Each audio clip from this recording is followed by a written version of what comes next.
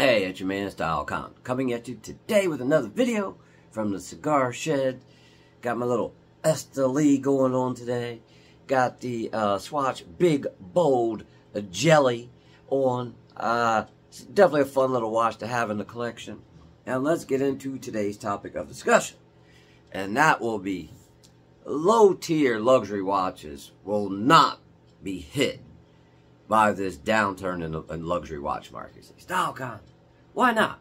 Well, because they're affordable. That's it. Like I talked in the previous video, uh, these high-end watches, the Pateks and Rolex that were going for outrageous prices, is because people had free money. The interest rates were low. You can go ahead and get something that was probably out of your price range at a reasonable interest rate. Not a price, but a reasonable interest rates, like with houses. The housing market prices have been coming down a little bit because the interest rate is higher. So people aren't buying as many houses like they were when the interest rate was 3 4%. Housing market was a booming. Now that it's not, it's coming down. And like with the car market, some of these like Teslas, they've been lowering their prices. Uh, uh, Ford, Chevy, they can't move these high-end cars. But guess what cars are selling? You know, $30,000 cars, $35,000 cars people are still buying those because the average person can afford that. And with the interest rates being a little higher, it's more accessible.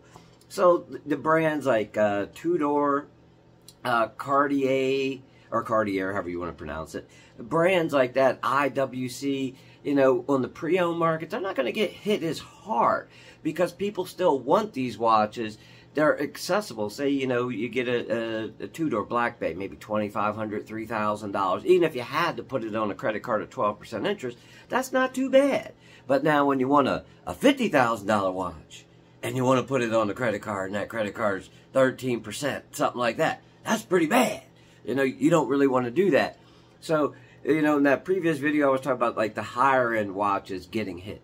The lower end, probably not so bad. So if you're thinking these watch prices on a Tudor, you know, for so 2500 might drop down to two, I don't really see that happening because it's more accessible. Anything that's more accessible during this horrible time with the economy, people will still buy. It's just these things that are getting outrageous in price. You know, with the cars, like, like uh, if you watch my channel, I'm a big fan of sneakers. There's this pair of sneakers I wanted to get uh, was a SB Dunk Sandy Bodecker. I went to get a pair. They were like $200. Like, come on, man. It's a $105 pair of sneakers. But right now, you can get them for about $100. You know, it dropped in value $100.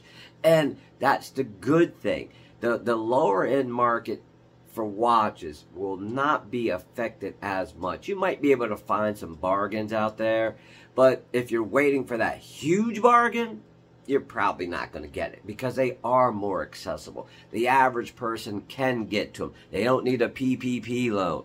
At times, you don't even need to put it on your credit card. I got 2,500. I got $3,000 saved. I saved it to get this watch. This is what I did want.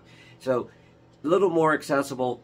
They're not going to get hit as much, in my humble opinion. Right now, I've watched a couple of, what's that, John P., and he was talking about how he can't move some of these watches that are higher end but people have been calling for Tudors and, and Cartiers, and it's like, okay, those watches are still good because they're accessible. Now, once they hit that, you know, 15, 20, 40,000, 50,000 dollar range, 100,000 range, they, they'd be sitting on the shelf just like anything else.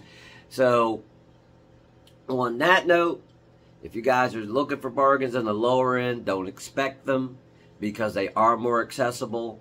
But if you want to get one, go ahead. Take the time out of your day. Go buy one because that's something worth servicing over a 500 or a $1,000 watch.